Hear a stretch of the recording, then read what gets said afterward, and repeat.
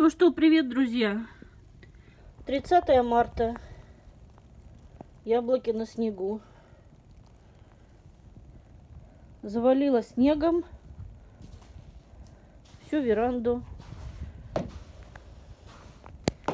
Целый день по прогнозу будет идти снег, а ночью будет до минус 8. А так хорошо начиналась весна. Мы приехали в карантин за город на дачу. И вот как традиционно весной срывается снежок, так и 30 марта все укрыло снегом. Вот. И снег такой, знаете, метель метет, холодноватисто. Я вон половину укрытия оставила на своих растишках, и слава богу, пускай, пускай укрыты. Еще лапником закрыты, туи закрыты от солнышка в основном. Но сейчас, видите, уже не солнышко, а еще и морозец, метель. Небольшой такой обзорчик о нашей деревенской жизни в карантине.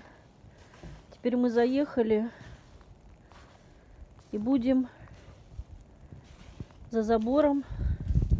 Он все ступени завалило снегом. Мангал стоит нетопленный. Розочки мои вот там на Альпийской горке в Ракарии снежком под лапником засыплет. Соседи вон живут у нас тоже в карантине с детками приехали. И все-все засыпало снегом. И парковку все засыпало снегом. Все, дорожки сейчас засыплет. Небо все белое. И летит снежок большими хлопьями. Ну и, как я уже повторю, сегодня обещали мороз по области минус 5, минус 7.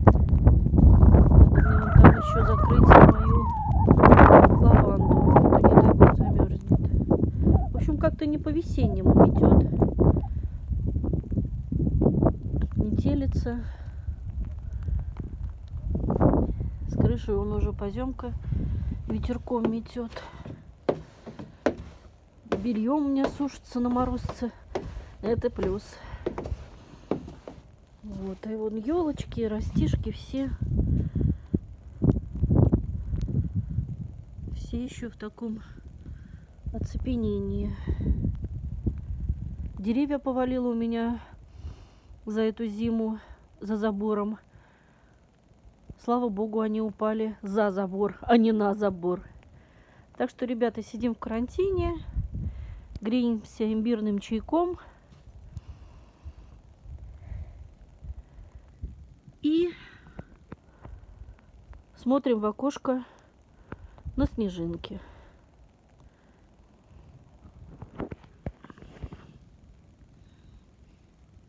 Что еще вам скажу? Скажу, берегите себя в такие непростые времена.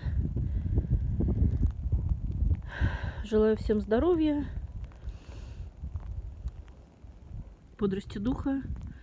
Найти себе интересные занятия вынужденной изоляции. Вот. Так что всем здоровья, благополучия, будем жить.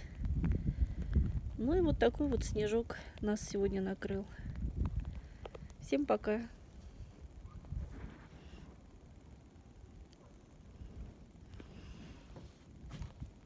У нас, у меня еще снежинки до сих пор, сказала пока, снежинки наклеены